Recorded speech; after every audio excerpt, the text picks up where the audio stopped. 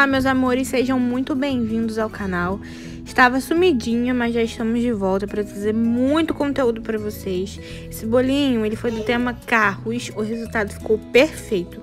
Então, não se esqueça de curtir, deixar o like, compartilhar, que isso nos ajuda demais na divulgação do vídeo para crescer o canal e aqui a gente possa cada vez mais trazer mais conteúdo para vocês, tá bom?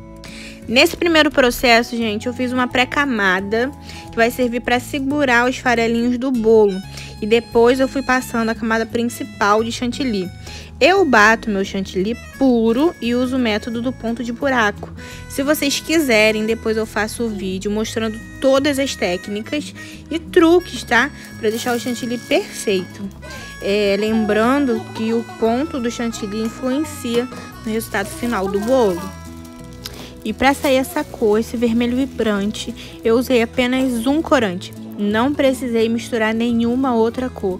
Eu vou deixar aqui para vocês a marca do corante que eu usei. Gente, a Tiriqué, depois que eu descobri ele, eu nunca mais tive dor de cabeça com chantilly vermelho, nem preto, porque são as duas cores que mais me dava problema.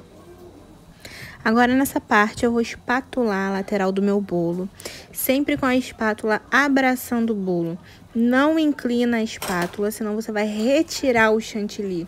E a gente, nesse caso, não quer retirar, e sim alisar. Sempre com a espátula reta, no ângulo de 45 graus. Você vai conseguir alisar o bolo se você pegar essas dicas, tá bom? Lembrando que a prática leva à perfeição, então não tenham medo de errar.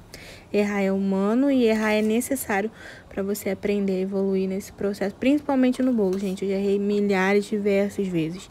E é assim mesmo, não, não fique frustrada se errar de primeira. É assim mesmo. Eu também não me atentei muito na parte de cima, porque eu vou fazer um trabalho que vocês já já vão ver, que vai uma quantidade já de chantilly, então eu, eu preferi não colocar só depois uma camada bem fininha para acertar as quinas e as laterais do bolo também, tá bom? É, eu usei a espátula da Angel Doce Sonho número 48. Gente, essa espátula tem numeração, mas tem umas espátulas no Mercado Livre que eu não sei a numeração. Eu posso dizer com precisão essa, é a número 48, mas é da Angel Doce Sonho. Eu amo as espátulas delas, inclusive elas têm uma linha de pó e glitter maravilhoso. Eu sou apaixonada. Gente, eu não fui muito perfeccionista nas laterais, porque eu vou fazer um trabalho na parte de cima. Eu vou fazer um caminhozinho de terra preta e nas laterais, né, nas voltas, eu vou fazer uma grama.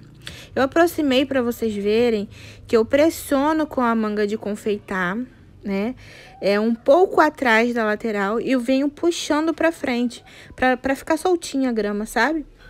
É simples e é, é técnica, você vai pegando com, com a prática. Você pressiona e vem empurrando para a borda e solta, para ficar aquele efeito caidinho no bolo.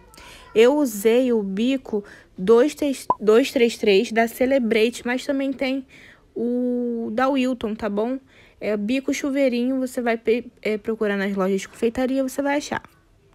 Agora, para simular essa terrinha, esse caminhozinho de terra preta que eu usei foi biscoito negresco. E, gente, eu só consegui achar é, um biscoito na cor, na cor mais pretinha, só o negresco ou o óleo. O piraquê, o traquinas são biscoitos mais clarinhos, então eu não consegui é, chegar no tom que eu queria e eu preferi usar o negresco, tá bom?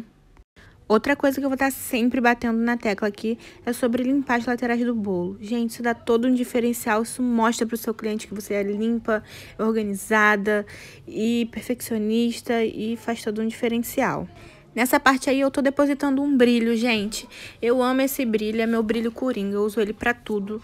Ele dá um brilho especial no bolo e já tá incluso no valor da decoração. É, gente, ficou lindo demais esse bolo, eu amei tanto.